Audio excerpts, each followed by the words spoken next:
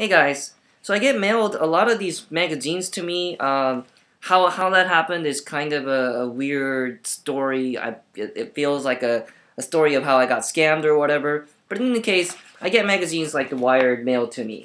Um, and this particular edition, I you know I, I like The Wired magazine quite a bit, oftentimes.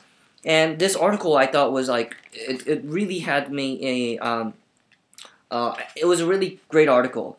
Um, but it's on the uh, the February 22nd edition, um, and it's pretty much the, the cover, you know, on the cover it highlights it. The article is how the U.S. almost killed the internet and why it still could, and it's talking about you know the the NSA kind of um, be, the PRISM program and what Edward Snowden leaked um, about the the pretty much the the extent of how the U.S. government, the NSA, um, is gathering information. Um, and it, it really goes into talking about how it happens. Uh, there's there's a there's a tension that exists. Um, three layers really. Um, the consumers, us, um, is on the one side. Corporations like Facebook and Google and Verizon, you know, any corporation that really handles private information um, that we send to, and of course the U.S. government itself. There's tension um, between among all three of that. Um, and it really explains why, you know, corporations have to be complicit in, in some ways, um, and, and in some ways unintentionally so because of the laws in place. Uh, it's, it's quite remarkable that this is kind of how it's happened. And then the, uh, the I, I really like that the the um, the editor of the article actually went and interviewed with a spokesperson um, of the NSA. And so like even even the the spokesperson of the NSA and the general uh, actually uh, who's kind of behind this whole thing, uh, the director of the NSA, is like, look, our our hand, you know, we don't want to be doing this as well. Our hands are kind of tied as well. Uh, because this, we have to do this for national security reasons. Um, we would have if we had another way of kind of gathering information to save save us from terrorism, we would, but there is no viable solution at this point. Um, I don't know, like the, the, the justification to me, you know, I'm a very kind of, you know, it, it's very uh, flimsy to me personally, but I'm biased towards that. Um, and corporations are like, look, we didn't even know that the, some of our information was going to them, and, and it's like the government actually was actually hacking corporations in a way, you know, using various methods uh, of getting information from them.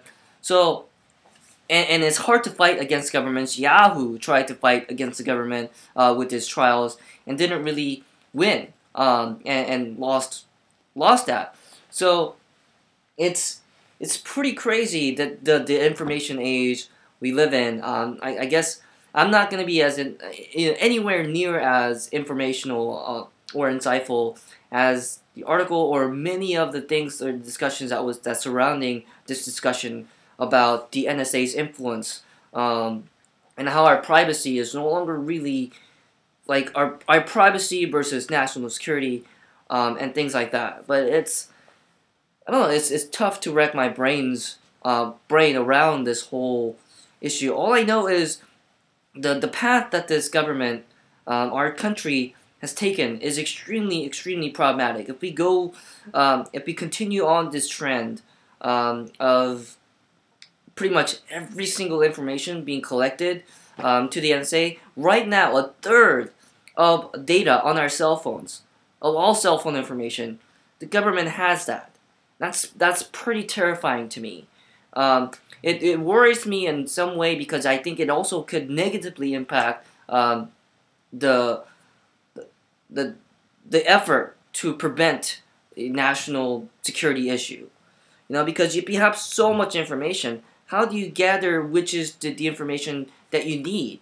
When you have a limited collected pool and you have a you know you have a suspicion on someone and you do a warrant and you get information that way, um, that could actually be more effective than having trillions and trillions of gigabytes of data. I know I'm exaggerating. And to, and to search through that, to, to find the needle in the haystack, you're making the haystack ever larger.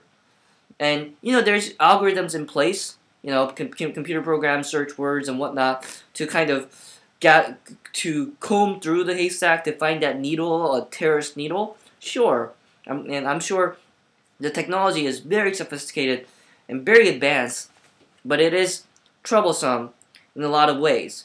Um, and also, the article also mentioned how uh, the you know the government uh, response was like, look, we're only pretty much spying on, uh, we're only concerned with foreign nationals, you know, and that, I guess that put American citizens at ease, but that doesn't ease the minds of corporations.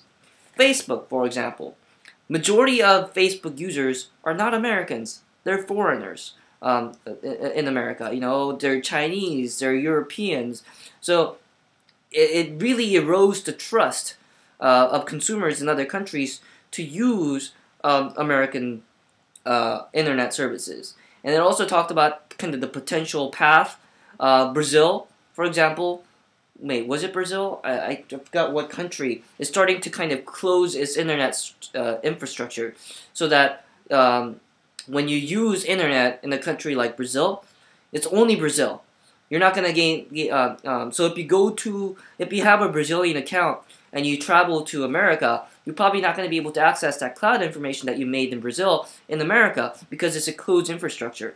So we're now coming to that. You know, the government, foreign governments, and foreign companies are scared of trusting their information to American companies. Um, and it, it's a, I think it's a crazy, crazy situation.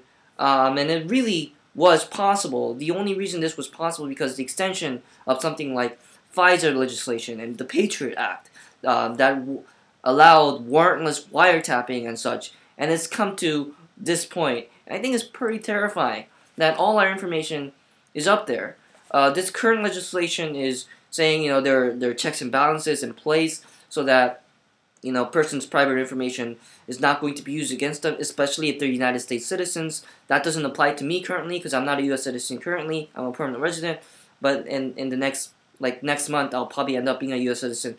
But anyway, you know, uh, it, it's it's problematic in, in in a lot of ways like that. So what about the next administration that happens? You know, what what if there's changes to these balance, checks and balance system? And it's so easy to be labeled a terrorist just because the government doesn't like you. That's the scary part about having all your personal information collected by a government agency. Um, all your information is up there. And that's scary. What if a terrorist, a cyber terrorist organization hacks into that? Now, because uh, cyber terrorists are extremely sophisticated and talented nowadays to hack into that. I mean, they, I'm sure the people at the NSA are the most talented people in terms of you know computer hacking talents and whatever, um, and that's why they were able to hack into you know Facebook security and uh, Google security it's it's weird. There's like a civil cyber civil war going on. American companies fighting against hacking from the uh, the American government that they're supposed to protect. This tension is is crazy weird. Um, I just have to say it, it's a weird situation um, that we we're in, and it's been going on for a long time. It's just that we've actually now got to be able to know know like 10% of the full details because Edward Snowden leaked it um, and has become a traitor to this country. You know? It's quite a situation, and um, I don't know where I'm going with this, but it, it's it's it's a you know if you ever yeah I, I think the article was pretty pretty insightful in a lot of ways. There's a lot here, um, and that's been that's kind of I guess my response, my jumbled response to this. Not very intelligible. Maybe I should have written out a script and have read it out. But anyway, those are my two thoughts. Cheers.